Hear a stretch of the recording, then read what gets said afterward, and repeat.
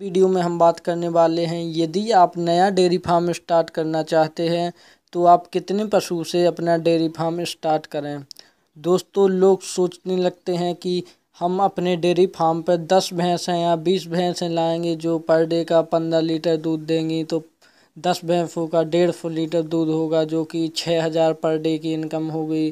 तो monthly income लगभग एक लाख अस्सी हज़ार होगी, जिसमें से तीस चालीस हज़ार खर्च हो जाएँगे और एक से डेढ़ लाख रुपए हम हर मंथ कमा लेंगे।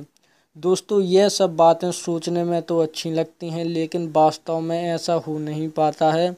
यदि आप नया डेयरी फार्म खोलना चाहते हैं तो आप अपने डेयरी फार्म पर कम ही पशु लाएँ। यह डिपेंड करता है आपकी पूंजी पर, और आपके पास यदि कोई तजुर्बा है, यदि आपने पशु पहले भी रखे हों, या आप गाँव से बिलोंग करते हों तो आप ज़्यादा पशु लें, नहीं तो मेरी सलाह है, यदि आपके पास कम पूंजी है तो आप दो पशु लें, जिनमें आपका लगभग डेढ़ लाख में एक गाय और एक भैंस आ जाएगी, जो कि गाय आपकी बीस लीटर वाली जर्सी आ जाएगी और लगभग पंद्रह लीटर वाली तीसरे या चौथे ब्यात की भैंस आ जाएगी। और यदि आपके पास थोड़ी इससे ज़्यादा पूंजी है तो आप लगभग तीन लाख रुपए लगाकर दो भैंस और दो गाय लेकर ही डेयरी फार्म स्टार्ट करें। दोस्तों, ऐसा करने से एक तो आपको उसमें जो तजुर्बा है, वह भी हो जाएगा।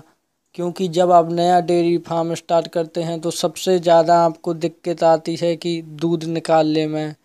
तब यदि आप एक्सपर्ट नहीं हैं और आपने कभी पहले पशुओं का दूध नहीं निकाला है तो आपको यह सबसे बड़ी समस्या लगती है पशुओं का दूध निकालने की। क्योंकि जो भैंसें रहती हैं, उनमें लगभग छः से आठ मिनट के लिए वो दूध थनों में उतारती हैं। उतने ही टाइम में हमें उनका दूध निकालना होता है।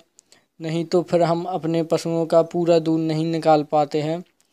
तो इससे भी हम एक लॉस खाते हैं अपने डेयरी फार्म और दोस्तों, दूसरा कारण यह है कि जब आप पशु लेते हैं तो कुछ पशु आप शुरू में लें और जब वह पशु दूध देना बंद कर दें, यानी जब वह ड्राई पीरियड में चले जाएँ, तब आप और पशु लाएँ और इससे आपके पशुओं का जो दूध है वह निरंतर आपको मिलता रहेगा और आपकी जो दूध से होने वाली इनकम है वह लगभग बारह महीने आपको मिलती रहेगी, जिससे आपका डेयरी फार्म सफलतापूर्वक चल सकता है।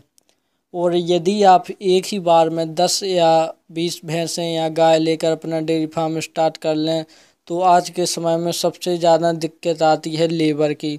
कुछ लोग सोचते हैं कि लेबर तो हमें आसानी से मिल जाएँगे, लेकिन लेबर मिल भी जाते हैं ले, आसानी से। लेकिन दिक्कत जब आती है, जब लेबर बिना बताए और छोड़कर काम को चले जाते हैं, तब हमें बहुत दिक्कत आती है और दूसरे लेबर भी नहीं मिलते हैं। इसलिए आप जो नया डेयरी फार्म स्टार्ट करने चाहते हैं तो आपके पास यदि कम पूंजी है तो दो पशुओं से, और यदि आपके पास थोड़ी ज़्यादा पूंजी है तो आप चार पशुओं से ही डेयरी फार्म स्टार्ट करें, और उसकी जो शेड है और उसके जो रहने का आप शेड बनाओगे, उस पर आप बिल्कुल भी यदि हो सके तो इन्वेस्टमेंट ना करें। आपके पास जैसा भी आपके पशुओं का जो बेड़ा या बाड़ा हो, उसी में आप बाँध कर वह डेयरी फार्म स्टार्ट करें और फिर धीरे धीरे यदि हो सके तो दो दो, तीन तीन महीने के अंतराल में आप और पशु उसमें बढ़ाते जाएँ। इससे आप सफलतापूर्वक डेयरी फार्म चला सकते हैं।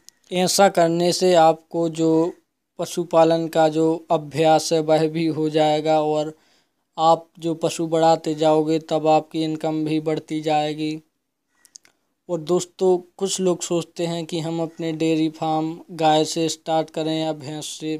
तो दोस्तों, हम एक अगली वीडियो बनाने जा रहे हैं, जिसमें हम आपको एक गाय से होने वाली इनकम और उस पर कितना खर्च होता है और एक भैंस से होने वाली इनकम और उस पर कितना खर्च होता है, वह बताएँगे। उसके हिसाब से आप अंदाज़ा लगा सकते हैं कि आपको गाय रखना है डेयरी फार्म में या भैंस।